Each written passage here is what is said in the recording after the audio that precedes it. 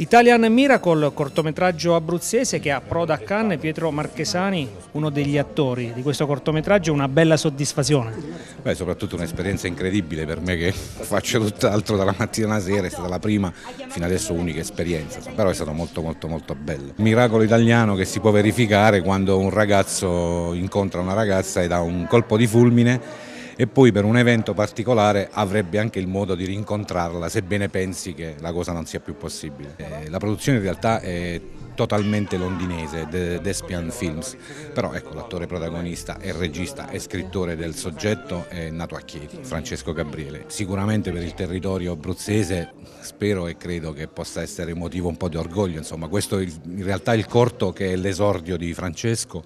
Una bellissima soddisfazione che ho avuto e insomma, ho realizzato questo cortometraggio con, um, con troupe e parte del cast proveniente da, direttamente da Londra dove, dove, attualmente risiedo e dove studio. Ero con una ragazza americana e um, sono stato fidanzato per un po' e lei era molto credente.